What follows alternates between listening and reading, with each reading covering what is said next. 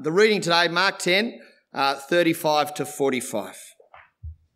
Then James and John, the sons of Zebedee, approached him, that's Jesus, and said, Teacher, we want you to do something for us if we ask you. What do you want me to do for you? He asked them.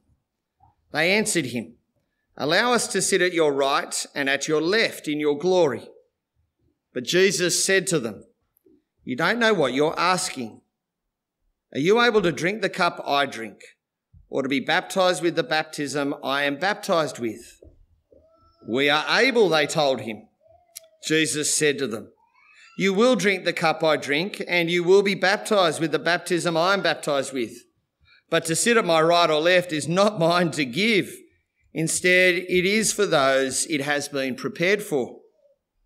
When the other ten disciples heard this, they began to be indignant with James and John. Jesus called them over and said to them, You know that those who are regarded as rulers of the Gentiles dominate them, and their men of high positions exercise power over them. But it must not be like that among you. On the contrary, whoever wants to become great among you must be your servant, and whoever wants to be first among you must be a slave to all. For even the Son of Man did not come to be served but to serve and to give his life a ransom for many. This is the word of the Lord. Thanks be to God. Uh, there's an outline there, and uh, the announcements took a lot of time. I'm sorry about that. Uh, but if we have time after the sermon, there'll be an opportunity for you to ask any questions you might have. Uh, Adolf Hitler rose to power in Germany uh, due to many circumstances, if you know your history. Uh, it's fair to say there was a fair bit of political skullduggery that built on foundations of resentment that had emerged out of the Great War, the First World War. From afar in international politics, there were many world leaders who regarded Hitler with a high level of approval. After all, the rise of a strong Germany and a strong German leader meant that the world economy would benefit. And it was in the middle of the Great Depression. As Hitler exerted his authority, he consistently and willfully broke international agreements and treaties placed upon Germany. From 1933, he actively rearmed the military against international law and treaty. In 1936, he took back the Rhineland, an area given away so there would be a buffer against the rest of Europe. And in 1938, he reunited Germany and Austria. He was open about what he was on about. He wanted to reunite all the German people and restore them to their glory. As the West watched, and particularly Britain, they decided to follow a policy called appeasement. If we give Germany this, we can avoid war.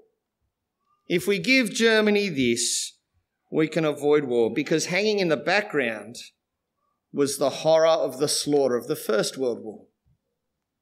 In 1938, Hitler made it public that he wanted the region of the Sudetenland, which was a German speaking region connected to Czechoslovakia.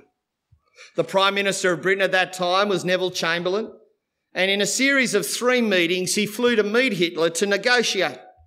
Eventually, after a meeting in Munich, he agreed, and let me tell you, the Czechs weren't asked, he agreed that Hitler could take the Sudetenland. And Hitler said, I'll take nothing else. There's a famous image of Chamberlain landing in Britain, disembarking from his plane, waving the Munich Agreement document and declaring, We have peace in our time. Within six months, Hitler took the rest of Czechoslovakia, invaded Poland, and the Second World War began. I don't think I'm being unfair to Chamberlain to say that he misunderstood Hitler, didn't he? He misunderstood the man, he misunderstood his mission, he misunderstood his plans. The result? It was catastrophic, wasn't it? I think many people do the same with Jesus, don't they?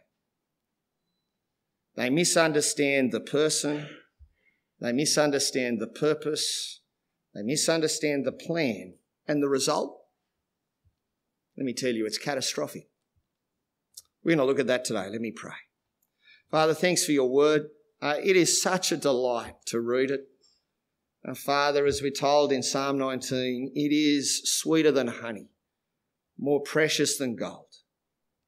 It reveals your purpose and plan. It reveals your judgment of sin and your wonderful salvation. Father, as we think upon your word, especially this little incident in Mark's biography of Jesus, please apply it to us. Please change us. Please help us to go out to point people to how wonderful Jesus is. In his name we pray. Amen. I have point two on the outline. Uh, Mark's biography of Jesus is one uh, a lot of teenage boys go to because it's the shortest and got the most action. 16 chapters doesn't stop, but don't let that fool you into thinking that it's a simplistic biography. Uh, it divides into two parts.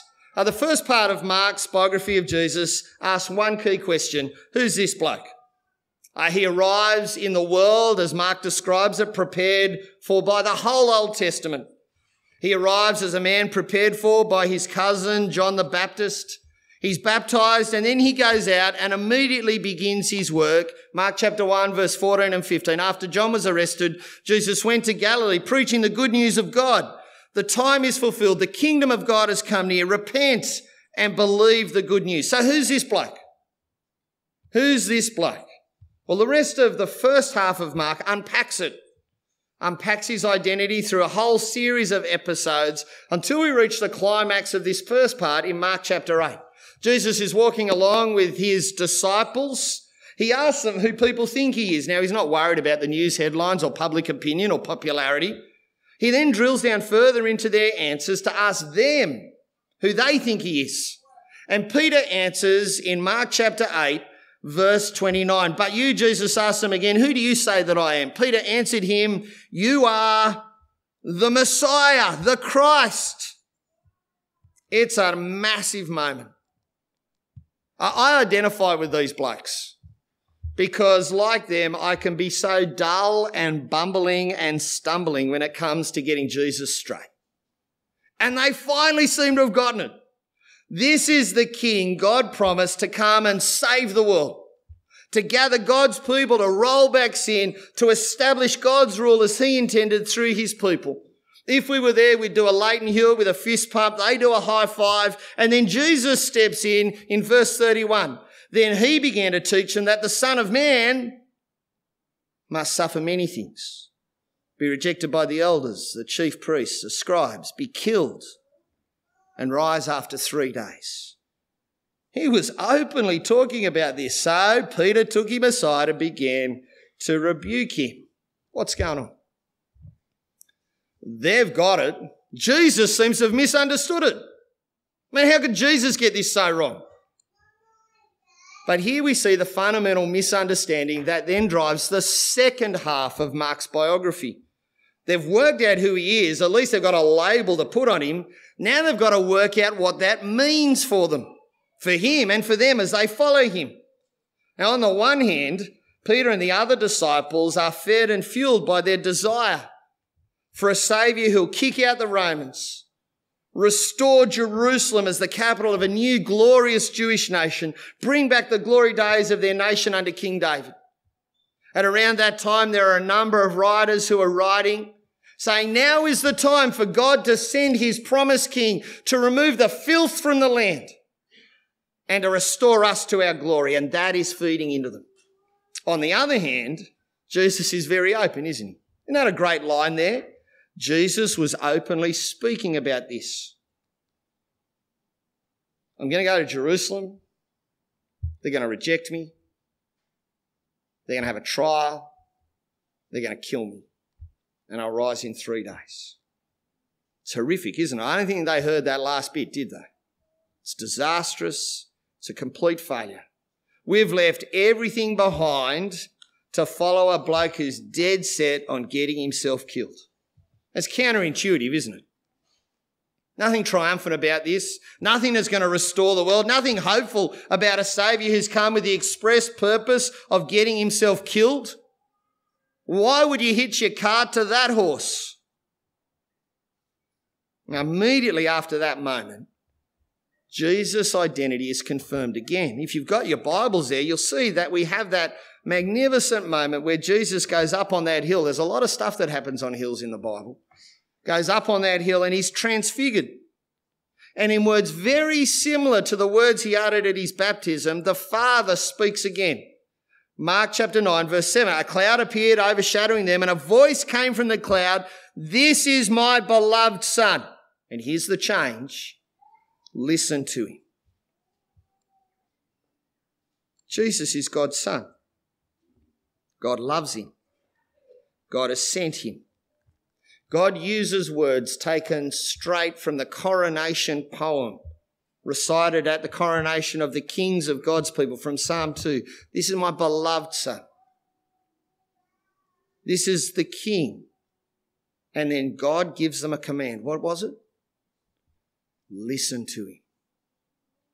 That command wasn't there at the baptism. There's been a change because now they know who he is. Now they've got that identity straight. Now it's about learning what it means to follow him. And at the heart of following Jesus is what? Listen to him. But there's also a pattern established here. It's a pattern that carries through right through. Don't worry, I'll get to today's reading. We'll get there. There's a pattern that carries right through to today's reading. Because three times Jesus talks like this. Mark 8:33, 9:31, Mark 10:33. I'm going to Jerusalem. They're going to reject me. They're going to kill me. I'll rise in three days. Three times his closest followers go, We're not listening to you because you're not doing what we want. We want greatness and gold and restoration and glory. We want the kingdom of David re-established. We want the Romans kicked out. They don't listen to him. They don't understand him. Mark chapter 9 verse 32. They did not understand this statement and they were afraid to ask him. Three times. This is what I'm going to do. Jesus, that's not right. Can I just say that I think that's how Jesus is often treated? Just listen to this. Hey, Jesus, I think you've got it wrong. And we mightn't say it publicly. I suspect we say it internally. Hey, Jesus, I think, I think you got this bit wrong. We're just like these men. They're just like us. Jesus is misunderstood. He should have been just an example, a good role model. He should have been a revolutionary. He should have been a great man. He is deluded. What a waste. And the consequences, well, they're immense, aren't they? It's worth actually just remembering what God said when He identified His Son. Listen to him. Listen to him. Well, the brothers James and John, I'm at point three. Brothers James and John approach Jesus. They're heading to Jerusalem. We know what's bubbling along inside them, don't we? Uh, they're apprehensive. If you look up there at Mark chapter 10, verse 32, they're astonished. Those following him were afraid. Jesus has said again in a moment, this is what I'm going to go and do. And so these guys come to him with a question. Teacher, we want you to do something for us. If we ask you, well, what do you want me to do for you? Well, there it is in verse 37. They answered him, allow us to sit at your right and at your left in your glory. Now we know what's ticking away inside, don't we? Because I'm just like them. If I'm one of the inner circle, I know what I want to get out of this. Right hand, left hand. It's the pattern. They got the label straight, but they got the content wrong. Jesus immediately confronts them there in verse 38. Jesus said to them, Fellas, you don't know what you're asking. Are you able to drink the cup that I drink or to be baptized with the baptism I am to be baptized with? It's the ultimate what would Jesus do moment, isn't it? Because there's only one person who can drink that cup the cup full of the wrath of God at the sin of humanity. Only one man who can do that. There's only one man who can undergo a baptism that Jesus describes in Luke 12, verse 50, as a baptism of glory, but it will be of suffering, standing in as a substitute. Jesus had one job it's to head to Jerusalem, having lived the life he lived of being faithful, to head to Jerusalem to be rejected and to die. And how, how do they respond? Verse 39 And We're able. Got a bit to learn about following Jesus, don't they? And he confronts them again. Look there in verse 39. Jesus said to them, You are, you will drink the cup I drink. You will be baptized with the baptism I am baptized with. But to sit at my right or left, it's not mine to give. Instead, it is for those it's been prepared for. You will suffer. You will be rejected. You will be persecuted. Gentlemen, you will be killed. You'll follow in my footsteps. You won't do what I have done, but you'll follow me. But notice the humility. Did you notice that there? We saw a little bit of it last week, didn't we? When Jesus was talking about judgment. But notice that there. Um, I, I actually can't hand out those places. It's not my job. Jesus has a realistic assessment of where he stands before God. That's not my job, that's God's job. I don't make those decisions. Not even Jesus can grant such a request as a human being. Have you noticed that? Isn't that a remarkable moment of humility? That's God's job. Again, we're confronted by the humility of who Jesus is, coming as a human being, willingly self limiting himself in the front of blokes who jostle and bray and say, I want a piece of that. Jesus says, That's not my job to give. The other 10 disciples, they're just like me. How would you go with this? Hey, they got in ahead of me. That was my request. They were just quicker. And they're indignant. See that there in verse 41? When the other 10 disciples heard this, they became indignant with James and John.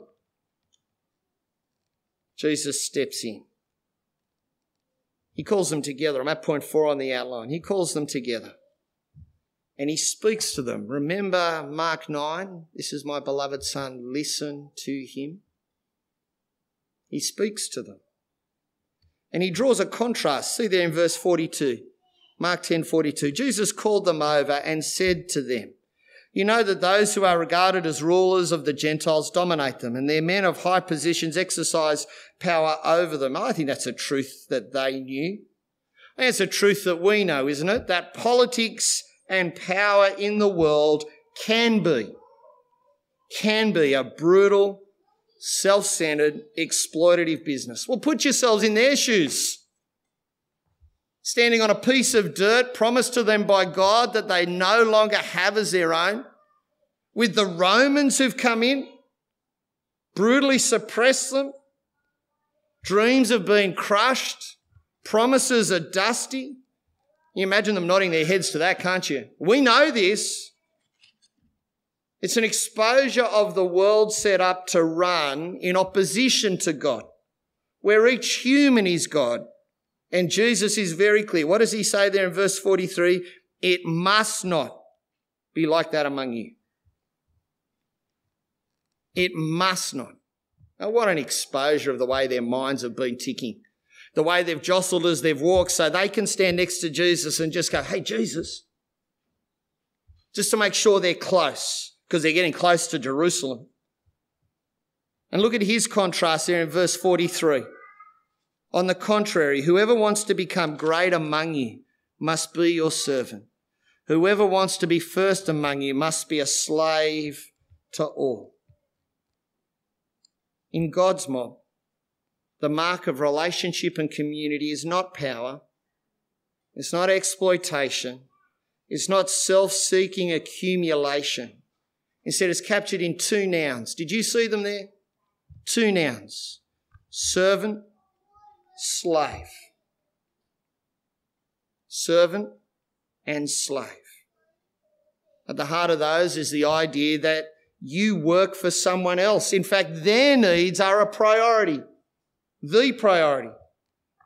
And there's the attribute of humility, a realistic self assessment of where you stand in the world, especially before God. And notice that Jesus doesn't just command them and then ignore them, does he? Because after verse 44 comes verse 45. For even the Son of Man did not come to be served, but to serve and to give his life a ransom for many. What a kingdom. What a kingdom. It's crucial, central. The mode of God's kingdom is set by Jesus and he is the slave and servant. And as Jesus speaks that, he actually ties together two ideas that I think they went are contradictory. He immediately attaches himself to Daniel 7. Son of man.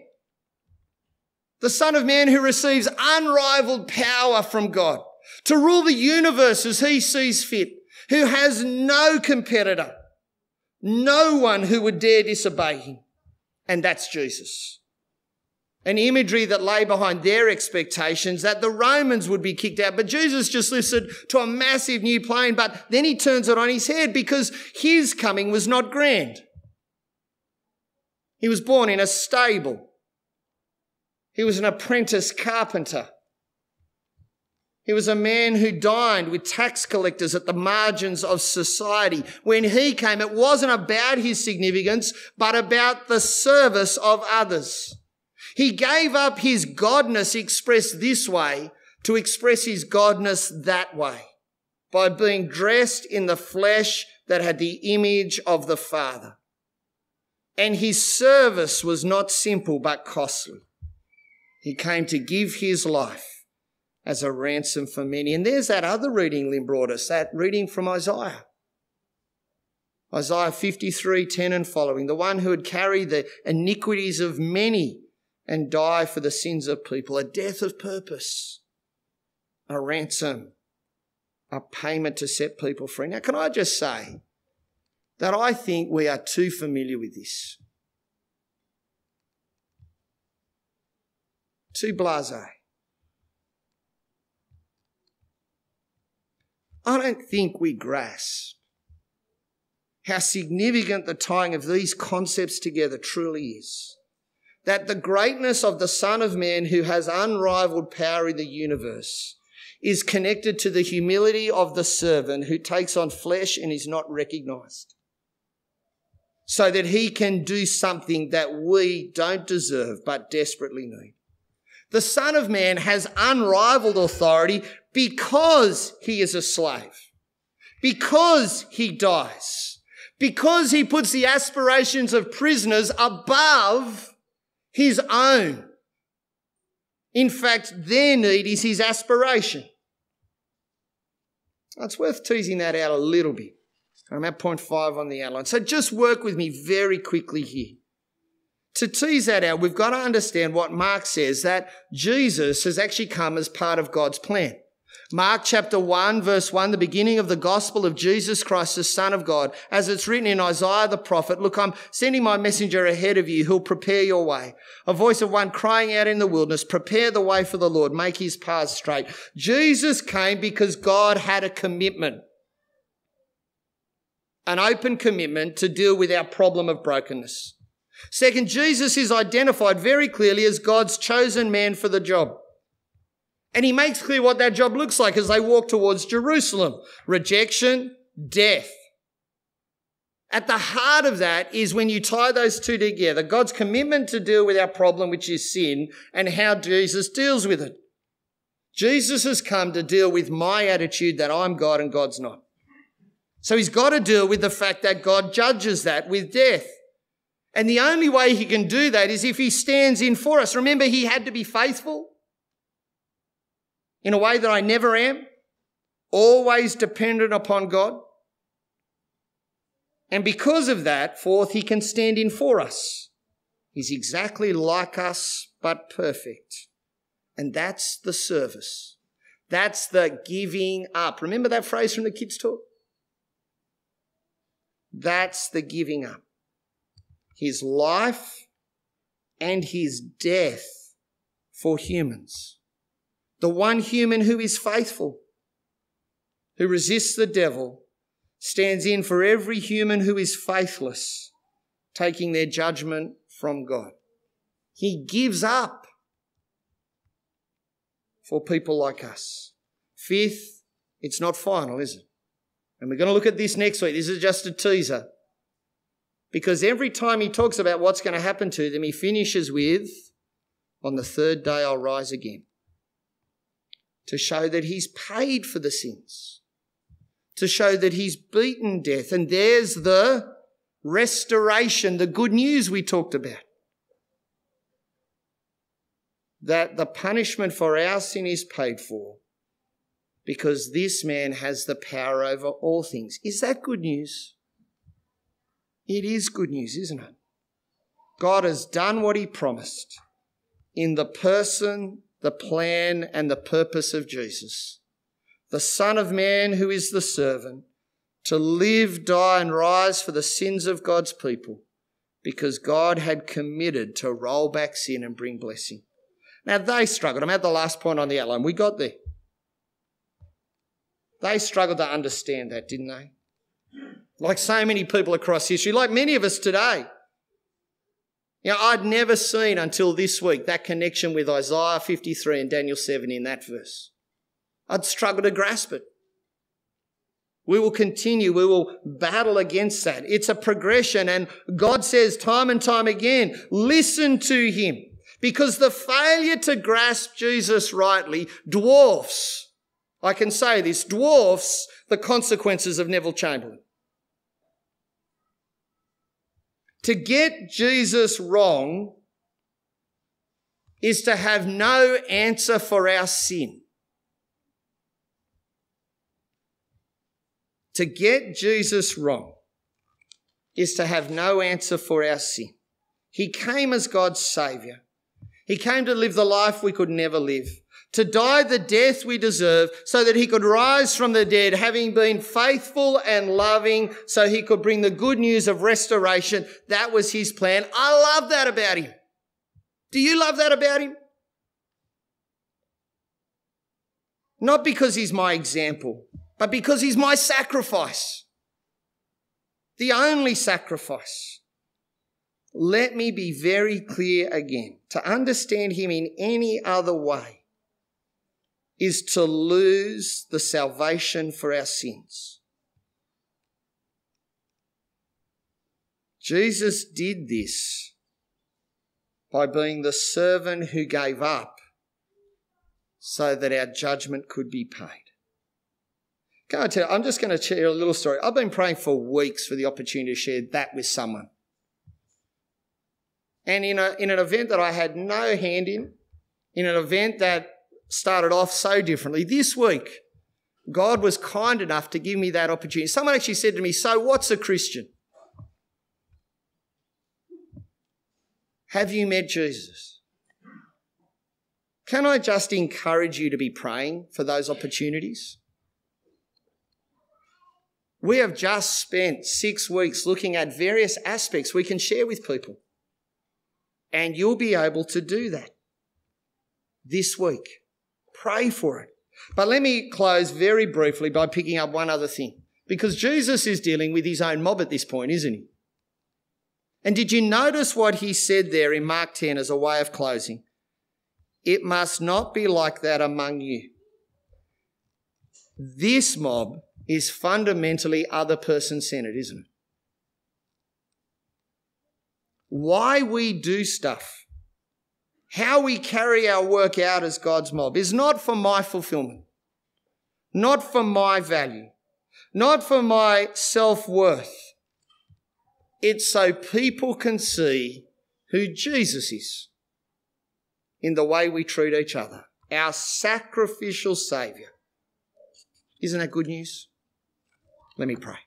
Father, thank you for your word. This is an amazing little section, uh, like every part of your word is. Thank you for Jesus. Thank you that he is the Son of Man who is the servant of all. Thank you that he lived, died, and rose so that we could be restored. Help us not to misunderstand him. Help us to proclaim him and give us those opportunities. And help us to display him as we exist as your people. Amen.